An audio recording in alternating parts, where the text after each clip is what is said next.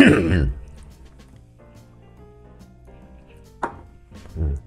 い、皆さん、こんにちは。鉄棒でございます。いつも暇坊主チャンネルご覧ください。ありがとうございます。えー、さて、ずっとダイヤ改正の話してますけども、今日は西行きましょうか。JR 西行きましょう。えー、JR 西ですけれど、まあ、あの、北陸新幹線絡みは結構、あのー、JR 東日本のところでもちょっと話してますし、JR 東海のところでもちょっと話してるんですけれども、まあ、ちょっとその辺、被るところもあるんですけども、いろいろとお話をしていきたいなと思います。えー、東海道山陽新幹線に関しては、もうこれは JR 東海のところでほぼ話したんで、えー、ここについては今回触れません。えー、西明石の終電が遅くなるとか、えっ、と、新大阪発東京駅が遅くなるとか、えー、山陽新幹線のも遅くなるとか、まあそういう東海道新幹線とこう一体化されてるんで、その辺はちょっともう今日はあんま触れません。もうあの東海の方をご覧いただければなと思います。えー、じゃあまず北陸新幹線のところから行きたいと。北陸新幹線の後ちょっと、えー、ハッピーライン福井の話とかもしますけれども、まあ、北陸新幹線については、まあ、大体あのダイヤ、ダイヤでこうなるっていうことは一回もお話をしてまして、その後もちょくちょく触れてますけれど、まあ、輝きとか、あの、剣とか、えー、白鷹とかっていう、なんとか列車種別というよりも、まあ、運行区間によって、なんかこう違うみたいな、まあ、結構東海道新幹線とか山陽新幹線って、速い列車はこれ、遅い列車はこれ、例えば、のぞみが一番速くて、光がちょっと普通ぐらいで、こだまは全部止まるみたいな、この列車の役割によって名前が違うんですけれど、東北新幹線とかは違いますよね。あの区間によって、上越新幹線もそうですけど、全部走るやつは、えー、はやぶさとか、えー、時とかっていう名前で、区間、区間で走るやつは、那須野とか谷川とかっていう風になってて、例えば時でも全部止まるようなやつもあれば、いっぱい飛ばしていくようなやつもありますよね。で、今まで北陸新幹線も割とちゃんとそういう役割分担ができてたんですよね。大阪から、ね、ごめんなさい、東京から金沢まで行くので、えー、ですから、えっ、ー、と、えー、大宮と、えー、長野、富山にしか止まらないのは、はい、えっ、と、これが輝き。で、長野から、えー、と金沢までの間を全部止まるやつは白鷹。まあ、全部というか、飯山飛ばすやつもあったあったけどね。えー、まあ、こういう風になって、それから、えー、長野までしか行かない朝、まあ、え、金沢と富山の間だけ走ってる剣みたいな感じになってますけれど、これが敦賀まで行くと、え、輝きでも金沢から先全部止まるやつ。だから言ってみれば、はやぶさで盛岡から上に全部止まるようなやつもあれば、えー、なんか八戸と新青森しか止まらないようなやつもあったりするじゃないですか。まあ、そういうふうな、あの、列同じ名前だけど、停車する、あの、列車の、あの、駅の数が違うみたいな。だ輝きもそうですよね。福井にしか止まらないやつもあれば、えー、越前竹府とかに止まるようなやつもあるとかっていうことによって、えー、まあ、白鷹は基本的に全部止まるんですけれど、まあ、もともと輝きって朝と夕方しか走ってないから、昼間のところの東京から直接来るやつは白鷹でっていう風になってるんだと思うんですけども、えー、朝晩の輝きでも、えー、小松と越前竹府駅に止まるやつ、加賀温泉とあわら温泉に泊まるやつっていう風にちゃんと分けられてますね。それぞれが2本ずつ、2往復ずつか。で、えー、まあ、福井は全部泊まると。で、白鷹は昼間に 5, 5本全部入って、5往復入ってきて全駅止まるっていう風になってますね。で、剣。これは、えー、今までは富山と金沢の間を行ったり来たりする列車でしたけれども、えー、これからは、えー、敦賀と富山の間、まあ、金沢、敦賀と金沢っていうのもありますし、で、この剣も、福井と金沢と新高岡にしか止まらないようなやつもあれば、えー、越前竹府、あわら温泉、加賀温泉、小松全部泊まるやつもあるという風になってて、これはだから、白鷺とかサンダーバード、まあ、白鷺は割と全部止まっていくんだけれど、サンダーバードでは、もう本当、あの、ほとんど止まらないノンストップみたいなやつもあれば、ちょこちょこ止まっていくやつもあるみたいな。だからそういう風な、サンダーバードの時の役割が、この剣にもそのまま継承されてるということで、あとあの、輝きとかと違うのは、剣は最速パターン、えっ、ー、と、速達パターンも、全駅停車パターンもすべて、新高岡にも止まるっていうところが違いですね。はい。これは違いです。新高岡を止ま、に止まらない剣っていうのはないです。全部止まります。えー、新高岡、金沢、福井は全列車止まります。あとの小松、加賀温泉、荒温泉、越前竹府は、止まる、えっ、ー、と、全、えっ、ー、と、全部止まるやつはこの全部止まると。だからこの4つのうち、この駅だけ止まるとかっていう剣はないですね。剣は、福井と金沢と、えー、新高岡にしか止まらないやつか、全部止まるやつのどっちかっていう風になってますね。はい。で、剣が基本的にサンダーバードと白鷺で敦賀駅で接続していて、白鷹とか加賀駅は接続してません。えー、時間がずれてます。これ意図的にそうしてるんだと思います。えー、東京から直接来るような、東京から福井方面に来るような人たち、まあ今までのもちろん富山とか金沢もそうですけれど、東京の首都圏の方から北陸方面に来る人たちは、加賀駅とか白鷹を使ってもらって、えー、大阪から北陸方面に行く人は、サンダーバード、白鷺から、えー、剣に乗り換えて、金沢とか福井とか富山に行ってもらうみたいな、そういうふうに言えない役割になってますね。ですから大阪方面から北陸新幹線を使って、例えば上越妙高とかに行こうと思うと、えかなえーと、どっかで乗り換えるか、敦賀で長いこと待つかのどっちかということになりますね。はい。まあ、敦賀で待つ時間が長くなるっていうのが普通かと思います。で、そしてその敦賀のね、乗り換えについても、これまでも何度もいろんなところで紹介されてます上下の移動ですけれども、え具体的に、えっ、と、どれぐらいエスカレーターがあって、どこに階段があるかっていう、そういう平面図が出てまいりました。で、えー、まあ、エスカレーターが2機ずつかな、ありまして、上り下りそれぞれ2機ずつあって、で、えー、と、8分の一応乗り継ぎ標準時分というのが設定されています。エレベーターもあればエスカレーターもあるし、あとは、え、階段もあるということで、え、そういう風になってます。で、それぞれ双方向にこう行くような階段とエスカ、エスカ、階段一箇所だからエスカレーターは双方向に行くようなものがあって、だから、上り、上りエスカレーター2本、下りエスカレーター2本っていう風になってて、ですから、あの、エスカレーターでも上りだけあって、降りる方は階段みたいなところもあったりするんですけど、新幹線的にね。ここはそんなことなくて、なんて言ったってね、だってサンダーバードで着いた人がほぼほぼ全部乗り換えるわけだから、敦賀で降りる人の方が圧倒的に少ないんで、ほぼほぼみんな乗り換えちゃうわけですから、いっぺんに、あのー、途中に乗り換え会社とも通らなきゃいけないし、8分の間にそれを全部裁かなきゃいけない。えー、E7 系とかだと12両編成分を全部裁なきゃ、裁かなきゃいけないっていうことなんで、結構、まあ、これはこれで大変だと思うんで、この8分でいかにうまく裁けるかということですけれど、あとすみません、ちょっとこれ話余談になるんですけれど、まあ、仕組み的にしょうがないなと思うんですが、北陸新幹線とか、まあ上越新幹線も東北新幹線もそうですけど、グリーン車とグランクラスって端っこにありますよね。一番端っこにありますよね。えー、金沢、えっ、と、えー、下りだったら先頭方面か。例えば、はやぶさだったら一番青森寄りの方にあったりするんですけれど、あの、まあ私ね、あの、ジャジャパンレールパスのグリーンのパス使ってるので、グリーン乗らせていただいてるんですけれど、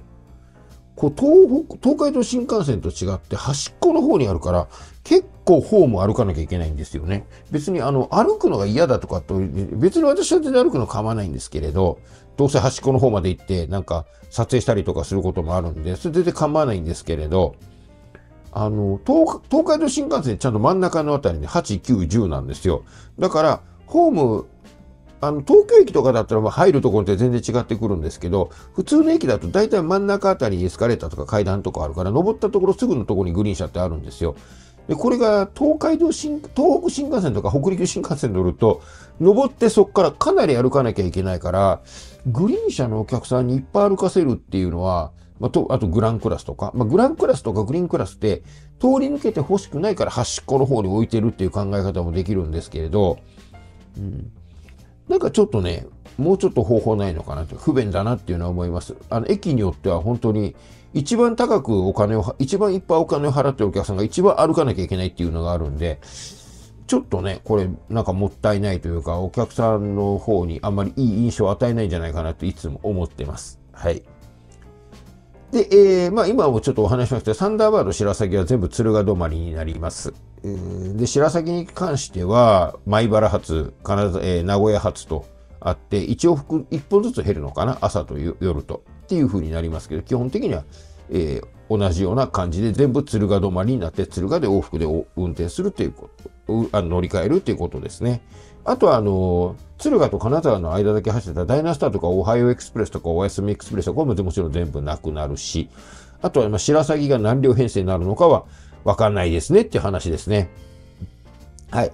まあ北陸新幹線に関してはそんなところですかね。であと並行在来線のハピライン福井が、えー、快速を走らせる。えー、サンダーバードで30分ぐらいかかってた敦賀から福井を快速だと40分ぐらいで行くって話なんで、結構ま利便性を高めてるし、あと特急がなくなってダイヤの余裕ができるんで、えー、運行本数が増えて、あとパターンダイヤ化されるんで、非常に乗りやすくなるであろうとは言われています。えー、まあね、ちま、なかなかその福井の沿線人口と、あと一番大きな福井っていう町だけ考えてもそうなんですけれど、なかなかハピライン福井が黒字化するのは、黒字化というかかなり大きな借金になるのは分かってるんですけれど、うん、収支大きく改善するのなかなか難しいところあるんですけれど、まあ、快速運行したりとかして、あと IR 石川鉄道と相互乗り入れして、福井と金沢の間をこう結構行きやすくしたりとかっていうこともするみたいなんで、まあそうした試みが成功して少しでもね、あのまあ行けばいいなと思うんですけれど、ただまああの、あんまりね、第三セクター的にも、基本的に新幹線来てください、来てください誘致してできてるのに、誘致してできて、で、それのガンガン競合するっていうのはあんまり、うん、がっつり競合は難しいと思うんですけれどね、快速走らせたりするぐらいは構わないんですが、うん、あの、そういう関係もあるんで、どこまでやるかっていうのはちょっとなかなか難しいところではありますよね。うん、あんまりやりすぎると、うん、あの、JR さんからね、なんで、なんでそんなことするんだったら言われないとは思うけれど、でもね、新幹線来てくれって言って、来て、来たら来たで、今度、新幹線を邪魔するようなこともあんまりできないじゃないですか。その辺の、どこまでやるかっていうのは難しいところですね。はい。えまあ、新幹線に関しては、そんなところかな。うん、あとは、在来線行きますと、えー、なんか特急列車の乗り継ぎ、ヤクモとか、スーパーハクトとか、この辺の乗り継ぎ時間をうまいこと調整して、えー、全体の所要時間、例えば東京から米子に行くとか、東京から鳥取に行くとかっていう、そういったところをうまいことやるようにしてますね。で、特に今回、ヤクモは273系って新しい、あの、ブロンズ色のやつが入るんで、で、これもちょっとずつちょっとずつ、うん、入れ替わっていくんで、やがて381系は全てなくなってしまうのではないかと。まあ、いい加減なくなりますよね、あれもね。かなり頑張ってる。うん。もう、老体に夢中って毎日走ってると思うんですけれど、ね、あの、273回徐々に徐々に増えてくるんで、まあ、うん、2年ぐらいなら全部置き換えられるんでしょうかね。はい。まあ、基本的にこれは273系はちょっとまた、来年の、まあ、私は4月の終わりぐらいから日本に行く予定ではあるので、北陸新幹線 E8 系、273系、この辺はまあ、狙って乗っていきたいなっていうふうに思います。あと今回、在来線でやっぱ話題になってるスーパーハクトですね。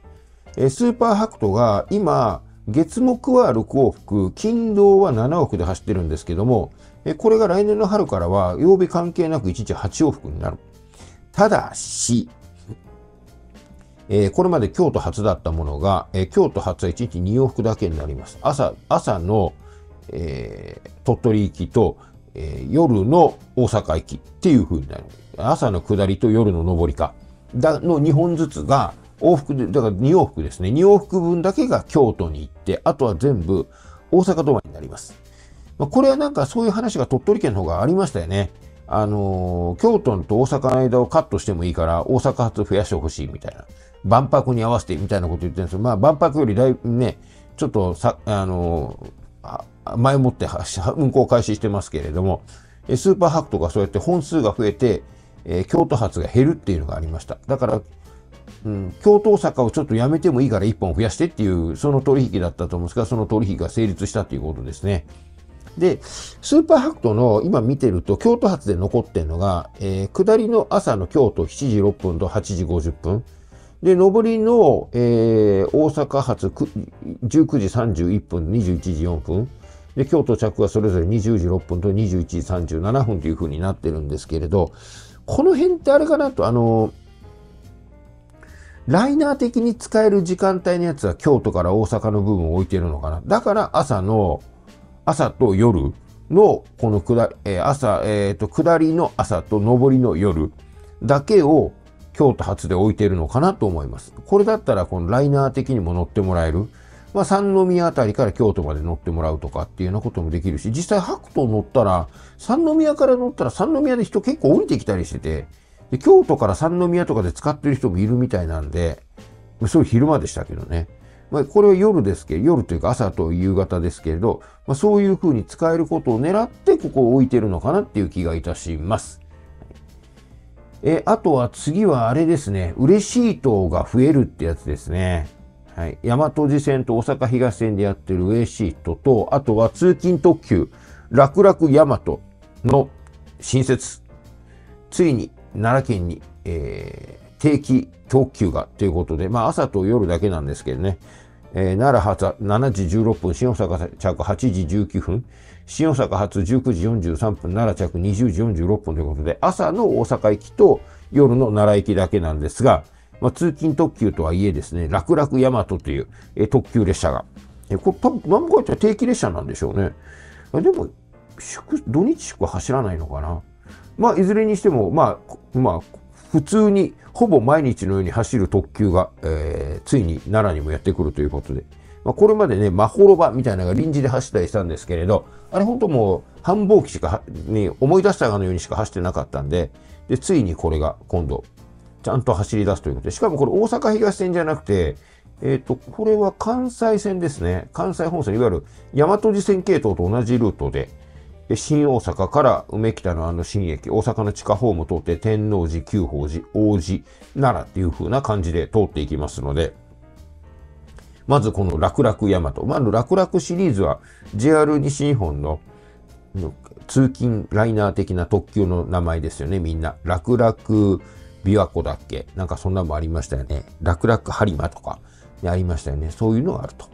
で、それに伴ってというか同じような感じで、えっ、と、嬉しいと。大和路線と大阪東線の快速とかについてるやつけど、えこれが設定が増えるということで、まあこれ結構最初この、ね、指定席の時だけのれんかけてっていうこと、うまいことできんのかなと、割とうまいこと言ってるみたいですし、私は乗ったことないですけど、なんかこう、ツイッターとか、あとは、なんか他の方の YouTube とか見てると、朝とかね、なんかのれんのこっち側と向こう側で天国と地獄みたいな感じになってたりとかして、で、そのや、えー、大阪環状線区間に入る手前のところで車掌さんがその嬉しいとののれんを取ると、まだ天王寺ついてないのお客さんが向こうからやってくるみたいなことがあったりとかしてるみたいですけれど、まあ、運用的にそれなりに問題なくいってるし、ニーズもあるから今回増やすっていうことですね。ただ土日、まあ、土、土、休日で、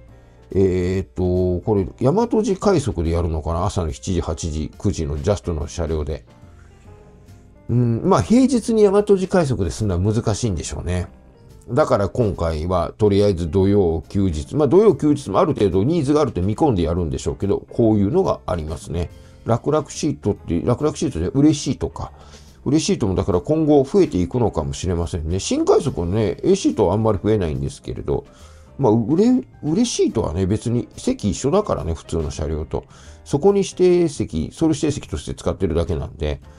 ちょっと新快速の A シートとは仕組みが違うんですけれど、まあ、とりあえずうまくいってるということで、今回新たに、えー、もうちょっと設定を増やすということですね。はい。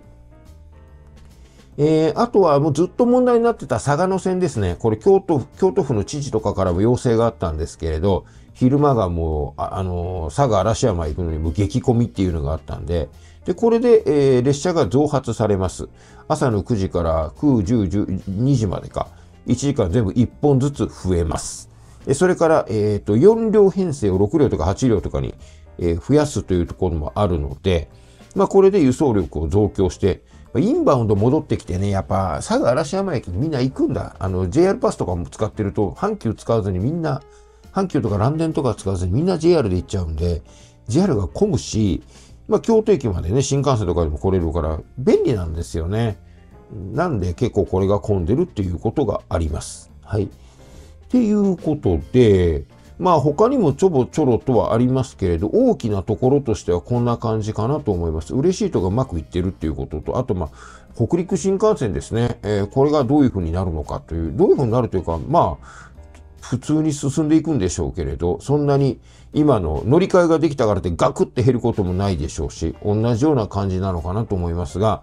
むしろそうですね、JR 東エリアからね、福井とかにどれぐらい来るのかっていったところが、まあ、注目かなと思います。ということで今日は JR 西日本のダイヤ改正のお話でございました。ご視聴どうもありがとうございました。